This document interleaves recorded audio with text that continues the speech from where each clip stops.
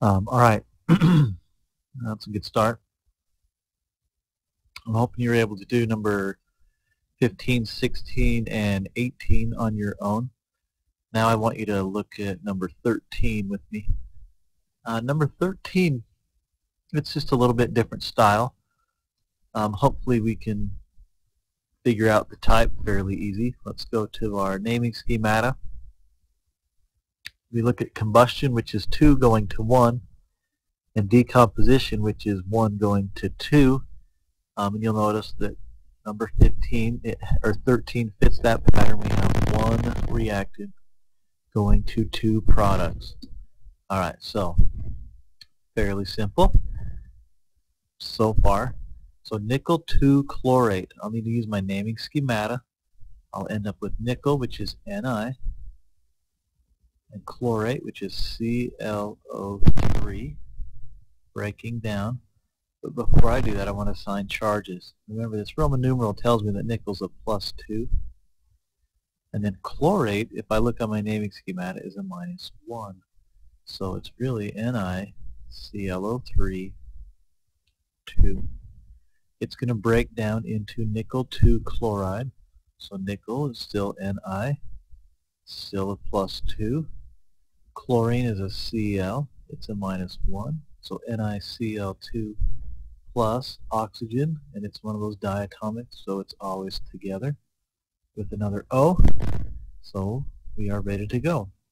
NiClO3 2 breaks apart into NiCl2 plus O2. The final thing is to start balancing. Notice this is a polyatomic ion. It has broken apart, so I have to balance things separately. Alright, so my highest subscript will be on the oxygen. I have on the left side, I have two of everything in parentheses. And there's three oxygens in parentheses, so I have 3 times 2 is 6 oxygens. To fix that, I need to put a 3 over here because this 3 is going to be multiplied by 2. That makes 6. Then I have a 2 still of chlorine. I have two chlorine, and I have one nickel and one nickel. So I'm balanced and ready to go. All right. Number 14 isn't really difficult. It's just different. It's butane, which is C4H10 plus oxygen, goes to carbon dioxide and water. Hopefully, from our type of reactions sheet, we can see that we have combustion down here at the bottom, and combustion is always the same. It's CH something plus oxygen goes to CO2 plus H2O. Alright, so that's the type of reaction. If you will remember, this is nice that it gives you this by the way, if you remember there's some special rules to balancing combustions. What am I doing? Sorry, I need to write and talk separately. So C4H10 plus O2 goes to CO2 plus H2O. This time I can write H2O as H2O because I don't have OH on the other side. It wouldn't matter if you wrote HOH, um, but it doesn't help you either. Alright, so if you remember, I'm just going to walk these through with you. Hopefully you have them in your notes somewhere. But the first thing is to start with a 2. Alright?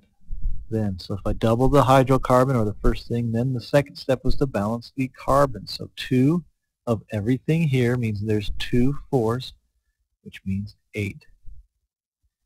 The third step was to take the number with H and put it in front of water. And the last step is to balance oxygens. So I have 8 of everything here. So I have 8 twos or 16 oxygens plus I have 10 of everything here, or 10 ones, so I have 10.